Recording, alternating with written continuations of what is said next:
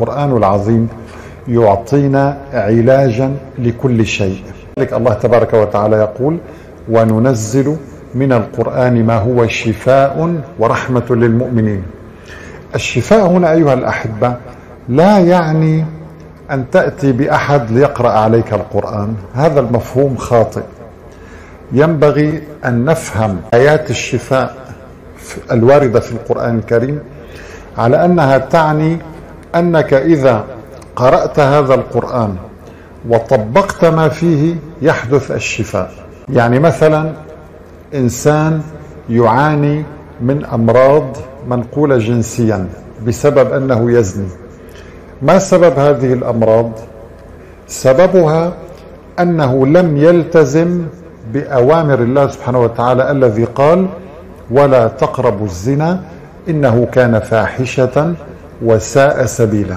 فأنت عندما خالفت هذا الأمر الإلهي هذه الآية القرآنية ركبتك الأمراض. وكذلك بقية التعاليم الواردة في القرآن. فهناك أناس تأتيهم بعض الوساوس. طيب ماذا يفعل؟ لا يفعل شيء. العلاج موجود بالقرآن أيها الأحبة. الله تبارك وتعالى يقول وإما ينزغنك من الشيطان نزغ بمعنى الوسوسة بمعنى تأتيك أفكار أحيانا قد تكون أفكار إلحادية قد تكون أفكار فيها كفر فيها شرك بالله ما هو العلاج؟ فاستعذ بالله إنه سميع عليم.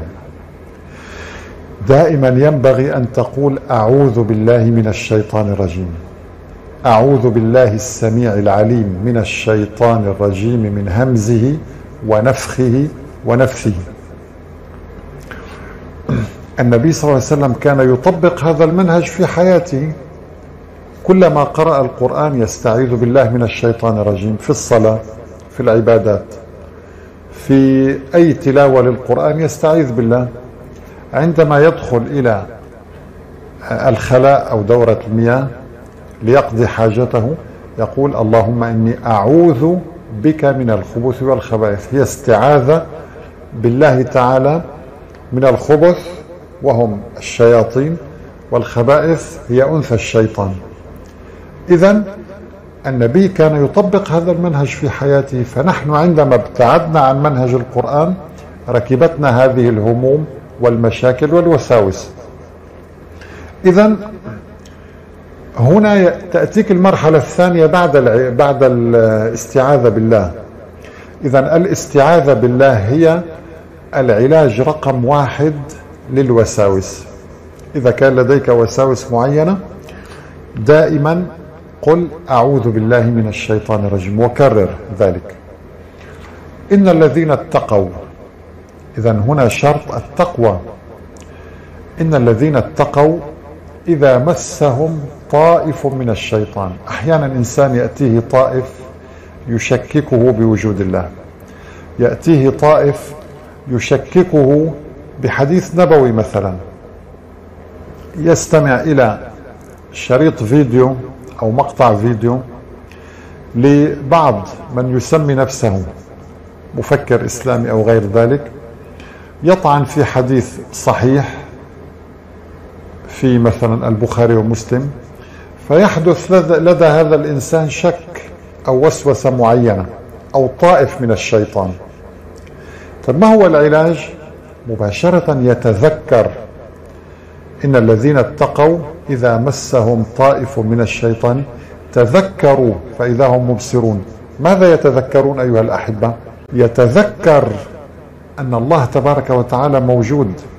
أن الله هو الذي يحكم الكون. أن الله هو القادر على إزالة هذه الوساوس والهموم والمشاكل.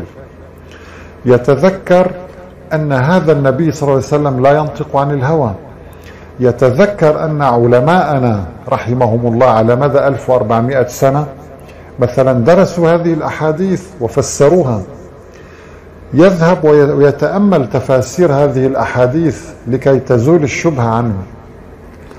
فأنا من غير المنطقي عندما يأتي شخص يشكك مثلا قضية يعني مثلا عذاب القبر يقول لك غير موجود. طيب بناء على ماذا شككت؟ لا يوجد لديه قاعدة هو يشكك فقط. فأنا لدي آيات تقول إن الإنسان يعذب لحظة الموت. لدي أحاديث صحيحة. طيب ماذا سأستفيد إذا شككت؟ يعني ما هو البديل؟ لا يوجد عذاب قبر. طيب ما هو البديل؟ لا شيء. يعني هل الله تعالى عندما يقول أفحسبتم أنما خلقناكم عبثا وأنكم إلينا لا ترجعون؟ الله تعالى الذي يقول ولا تحسبن الذين قتلوا في سبيل الله أموات بل أحياء عند ربهم يرزقون. هذا هذا الكلام ماذا يعني أيها الأحبة؟ يعني أن الإنسان الذي يموت في سبيل الله آه، مكرم يرزق عند الله ينعم. بينما الكافر الله تبارك وتعالى يقول عن قوم فرعون. النار يعرضون عليها غدوا وعشيا هذا في القبر. ويوم تقوم الساعة أدخلوا آل فرعون أشد العذاب. يعني هذه آيات واضحة. يأتي من يشكك يشككك بأحاديث النبي صلى الله عليه وسلم. طيب ما هو البديل؟ لا يخبرك. طيب ما الذي سيحدث بعد الموت؟ لا شيء. طيب هل هل يعني عبثا عالم البرزخ؟ إذا أيها الأحبة العلاج أن تتذكر ترجع للعلماء ترجع للعلماء الراسخين في العلم. القرآن العظيم أيها الأحبة من يريد أن يفسره خطأ ويفهمه خطأ سيجد فيه حسب قناعته تناقضات وأخطاء علمية وتناقضات أيضا. يعني مثلا فإن الله يضل من يشاء. يقول لك هذا خطأ. كيف؟ أن الله يضل من يشاء. هل الله خلق البشر ليضلهم؟ ولكن هنا عندما ندرس آيات القرآن نجد أن مشيئة الله ليست عشوائية ليست كمشيئتنا نحن البشر. مشيئة الله مشيئة منظمة ولها قوانين. ألزم الله بها نفسه عز وجل.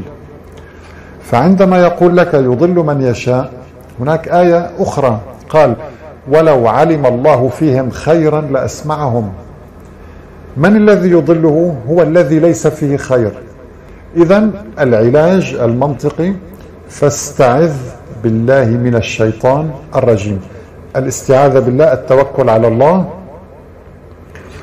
أن تسلم أمرك لله التسليم الكامل أيها الأحبة. الراسخون في العلم ماذا يقولون؟ آمنا به. كل من عند ربنا. وما يذكر إلا أولو الألباب. نسأل الله أن ينفعنا وإياكم بهذه المعلومات.